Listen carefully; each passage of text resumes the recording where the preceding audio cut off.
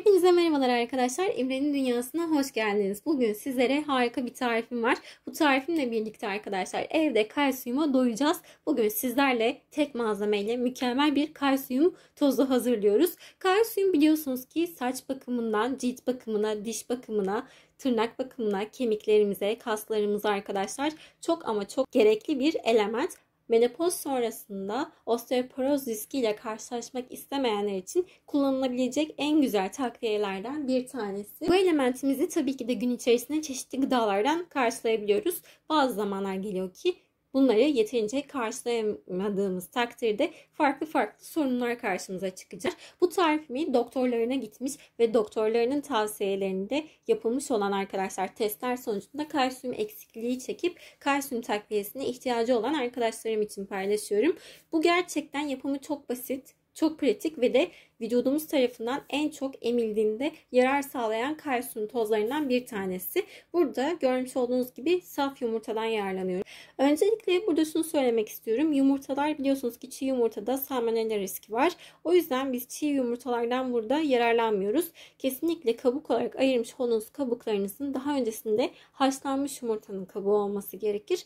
Ve bunu da normal bir haşlama değil. Eğer ki sizin evinizde yumurta haşlama ölçeği varsa en yüksek seviyede olunacak şekilde haşlanmış yumurtadan yararlanıyoruz. Burada arkadaşlar ben şöyle yeterince haşlanmış yumurtayı daha önceden ayırmıştım.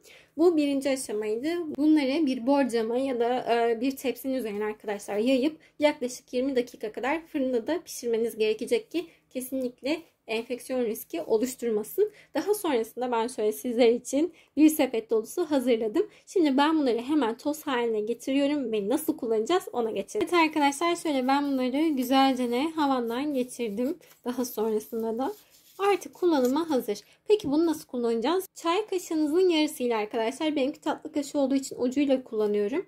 Bunu bu şekilde sabahları kullanabilirsiniz. İsteyen yoğurtla karıştırıp yiyebilir. isteyen sütle karıştırıp bu şekilde tüketebilir. isteyen balla karıştırabilir. Bunu arkadaşlar maksimum 7 gün kullanıp daha sonrasında ara vermeniz lazım.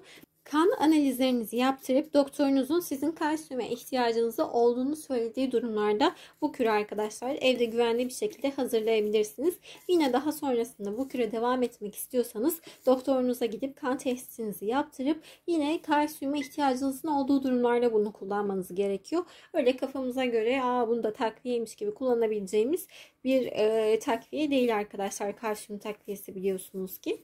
E, benim tarifim bugünlük bu kadardı. Umuyorum bu tarifimi beğenip tüm sevdiklerinizle paylaşırken aşağıya bırakmış olduğum Instagram adresinden beni takip etmeyi ihmal etmeyin. Hepinize sağlıklı günler diliyorum.